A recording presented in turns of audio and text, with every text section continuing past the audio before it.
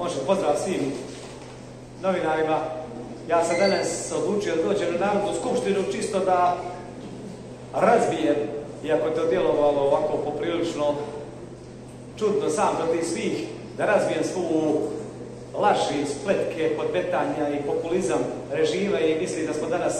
ovo je bila možda jedna od najvećih pobjeda koju lično smatram u Narodnoj skupštini, tako bi trebalo to do zasjedanja. Lično sam nevjerojatno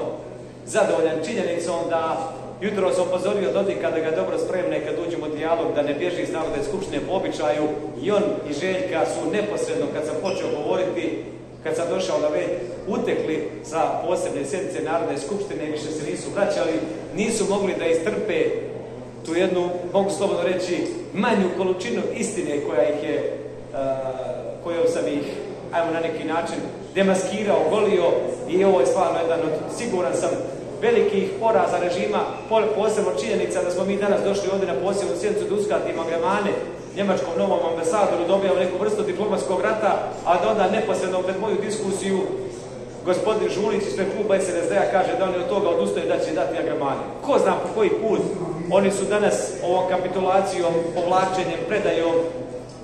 ponizili Narodnu skupštinu, pokazali da su obični populisti, demagozi i najveće neseće koji vode u propast Republiku Srpsku i siguran sam da će ih narod kazniti. Neko koji je 35 puta povukao posebne sjednice vitalni interes koji je najavljivao i donosio krupne odluke o vojsci Republike Srpske formiranju, obaveštane agencije, agencije za lijekove, koji je sve pobjeg povukao se svih tih zaključaka, otišao u Brisel i kapitulirao tako što je pristao na reforme Ustava da se ukine dom naroda, dodatno centralize Bosna i Hercegovina, je danas ogoljen do kraja i misli da je ovo konačan kraj Milorada Dodika njegove hazarderske, pogubne, izdajničke, a nacionalne politike. On je danas pokazao da je prije svega hrvatski čovjek, da mi imamo ovakve ljude, da smo, kao što je hrvatska služba podmetula nama Dodike Željku, da smo mi uspjeli njima podmetnuti neka dva ovakva političara da budu na čelu vlade predsjednici Hrvatske vjeri, da bi danas se vjerula srpska zastava na Kninskoj tvrđavi. Nažalost, valjda Srbi budu dovoljni pametni i da sinošnja večera, dakle, gospodin Milanović, predsjednik Hrvatske, dolazi u jajce, veliča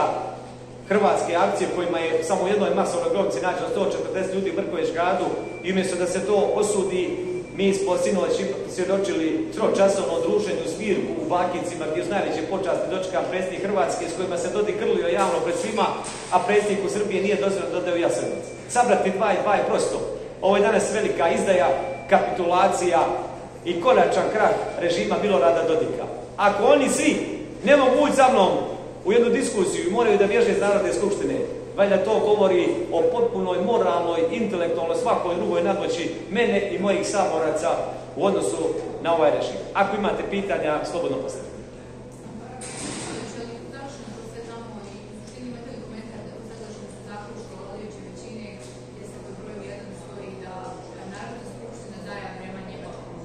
Pa je, jeste li vidjeli ovakav način kapitulacije? Ulazimo jutro u 12, da ne damo agremani, to je posebna sjednica da podržimo Dodika koji nije dao agremane, a onda u 14 časova isti ti predlagači predlažu zaključak da damo agremani Njemačkom ambasadu. Sjetite se isto tako bilo i s Amerikancima kad je nešto bilo saradnja s Amerikom da im se ne dozvoli da neka saradnja vezano za putnika avionu da se ne dostavljaju podaci američkoj obavještajnoj službi. Također smo predložili pa i u toku sjednice kad imao tri poziva za američke ambasade povukao se. Činjenica da je dogovor koji smo spriječili na sveću o predaji rudnika željezne rude Ljubija dogovoren po svjedočenju Zotu američkoj ambasadi da je to neki stepinac iz američke ambasade blagoslovio i odobrio, govori koliko ova marionetska vlada pod, pod utjecajem stranaca, dakle nije slučajno Dodik dolazi, Erdogan dolazi u predizbornoj kampanji da podrži Bakira, jučer Milanović HDZ, vjerojatno će Dodik otići kod Putina da se slika jednom, možda i Vučić pređe na ovu stranu, slika se sa Dodikom, ali dosta je Bosni i Hercegovini marioneta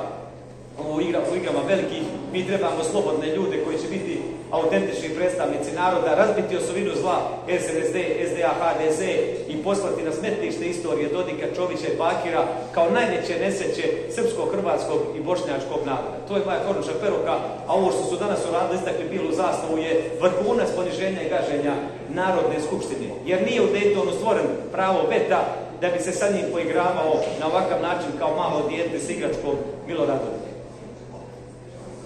Hvala.